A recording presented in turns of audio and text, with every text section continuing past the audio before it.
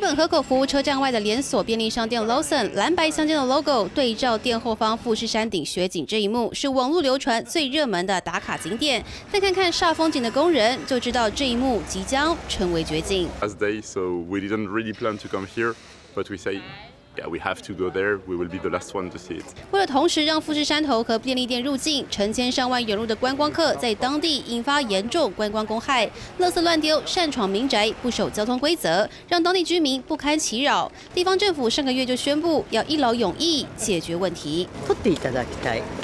皆さんにね、富士山を。でもやっぱり危険が伴う。そういうことで仕方がない。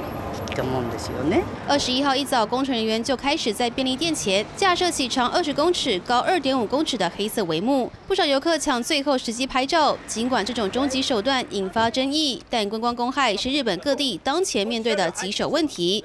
因为日元贬值到三十四年新低点，加上疫情过后，日本旅游业成为全球大热门。现在连大阪和香根等城市也在考虑征收新的旅游税，以应对游客爆量的问题。财新闻综合报道。